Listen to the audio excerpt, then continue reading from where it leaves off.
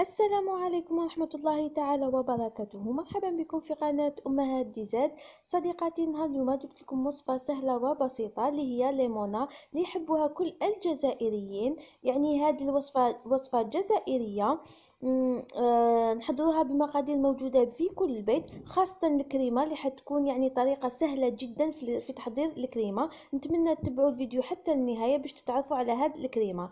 أما بالنسبة للعجينة نحتاج إلى هذه المقادير. نبداو على بركة الله. نحتاج إلى نصف كأس من الزيت نصف كأس من السكر كأس من الحليب ملعقة كبيرة من خميرة الخبز ملعقة صغيرة من خميرة الحلوى كذلك ملعقة صغيرة من لافاني ونصف ملعقة صغيرة من آه، الملح وبيضة. أما بالنسبة للفرينة حنحتاج حوالي ثلاثة ونص إلى ربع كؤوس فرينة. نبدأ على بركة الله طريقة التحضير. نحط البيضة في إناء. نضيف لها نصف كأس من السكر. نحاول أننا نذوب مليح السكر. نخلط حوالي دقيقة أو اثنين. بعد ذلك نضيف آه، الزيت آه، تدريجيا. في نفس الوقت نستعمل في الخلط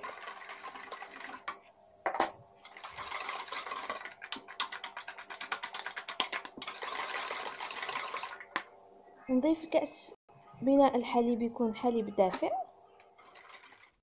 نضيف الملعقة كبيرة من خميرة الخبز ونحاول نخلطها مليح ونحاول كيفاش ندخلها في الخليط.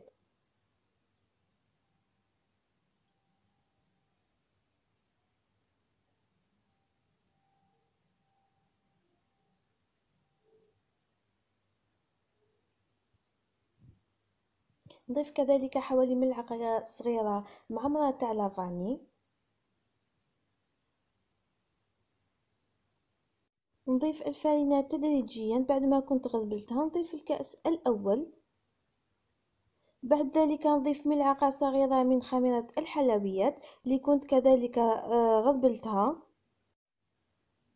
نضيف الكأس الثاني من الفارينة نضيف الكأس الثالث من الفارينة ونزيد آه، نصف ملعقة صغيرة من الملح. الملح دائما نحطه في النهاية. نضيف نصف كأس من الكأس الرابع. الكأس الرابع دائما نضيفه بالتدريج لأنه كمية الفرينة تختلف على حسب نوعية الفرينة وكذلك حجم البيضة.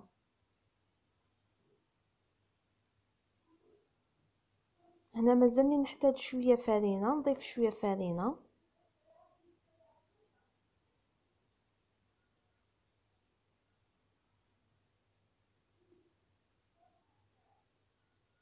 دائما راني نضيف الفرينة فقط بالتدريج. هنا استعملت حوالي أربع كؤوس.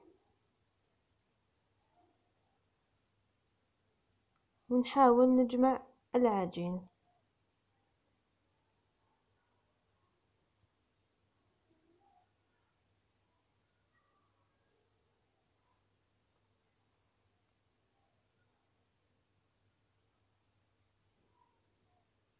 في النهاية ندير كمية من الزيت في يدي ونحاول نجمع مليح العجينة.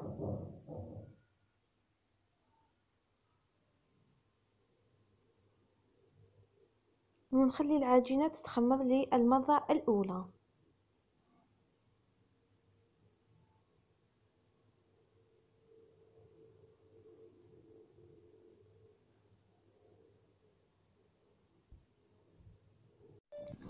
اما بالنسبة للكريمة حنحضر كريمه سهلة وبسيطة بدون بيض. آه بالنسبة للمقادير عندي علبة فلون آه فاني ملعقتين من السكر ملعقتين من المايزينا ونصف لتر من الحليب. نحط الحليب في الكاسرونة. نضيف له كيس من الفلون فاني.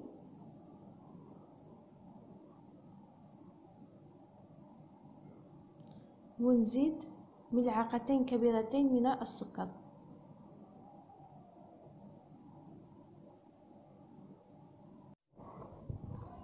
نخلط الخليط مليح.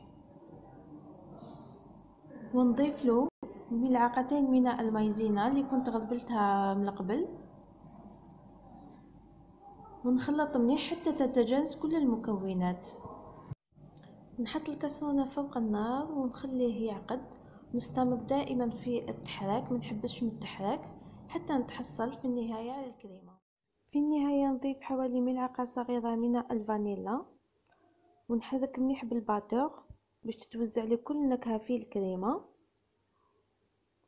في الأخير نغطي الكريمة بورق الشفاف ونحطها في الثلاجة باش تبرد.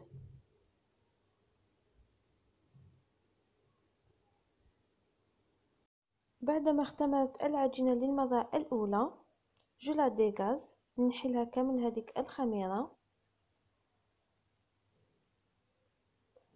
ثم نحاول نشكلها. نقطعها على اثنين. ونشكل كرتين. هاد الكمية تاع العجينة حدير لي زوج ليمونة نحطها بجهة. نزيد نشكل الكرة الثانية. ثم نحل العجينة. دائما نبدأ بالكرة الأولى اللي حليتها الأولى. نحل العجينة على سمك واحد سنتيمتر. في النهاية ندهن السطح بالحليب. ونخلي العجينة تتخمر لي المرة الثانية.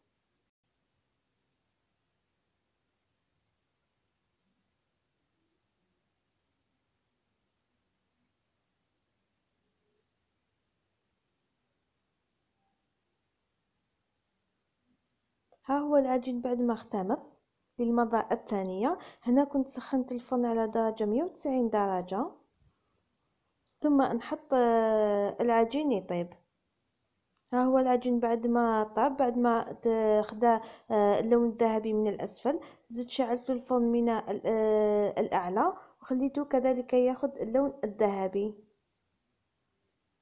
صدقوني يعني جا هايل جا خفيف. محمر من كل الجوانب. نخليه حتى يبرد باش نبدأ نشكل لامونا. أما بالنسبة للكريمة هنا قبل الاستعمال دائما نعاود نخفقها بال batteur آه ونحطها في كيس حلواني.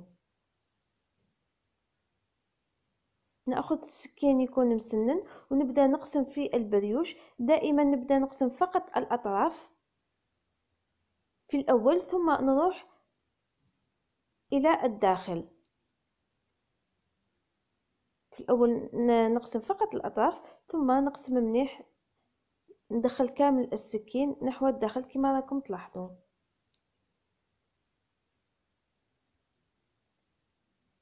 كما راكم تشوفوا آه لامونا جات خفيفة بالبزاف جات مهوية وخفيفة بزاف.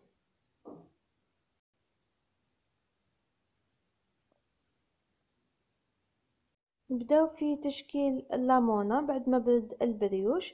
نحط الكريمة. هنا تقدري تستغني على الكيس الحلواني فقط بسباتول. تدهني كل السطح.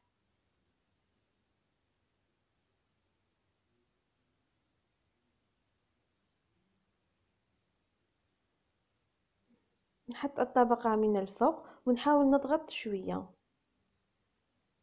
لتزيين هاد اللامونة نحتاج إلى سكر غلاس. كذلك نحتاج إلى لاجولي وشوية كاوكاو إيفيلي اللي يكون محمص. بالنسبة للتزيين فهو اختياري. ندهن السطح بلاجولي ونضيف لها فقط شوية كاوكاو. أما الثانية نددد لها فقط السكر غلاس من الفوق. في النهاية ها هي لامونا اللي كنا حضرناها. بالنسبة للتزيين يبقى اختياري وحسب الرغبة صدقوني جات هشيشة وخفيفة بزاف خاصة الكريمة اللي عطات لها بنة آه، خاصة.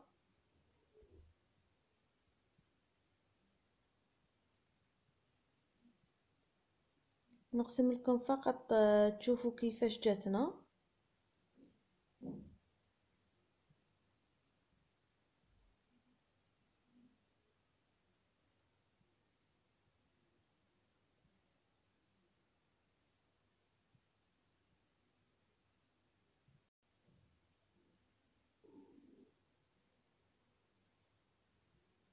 ها هي أمامكم. جات خفيفة بزاف. جات قطنية وهشيشة. مع الكريمة يعني لذيذة بالبزاف. نتمنى حبيباتي فيديو تاع نهار اليوم يعجبكم. إذا عجبكم الفيديو تاع نهار اليوم ما تنساوش تخلوا لي التعليق وديروا لي جام أما بالنسبة لي زارت لأول مرة القناة نقولها ما تنسايش تضغطي على زر الاشتراك وكذلك تضغطي على الجرس ليصلك كل جديد. أترككم في أمان الله. إلى اللقاء.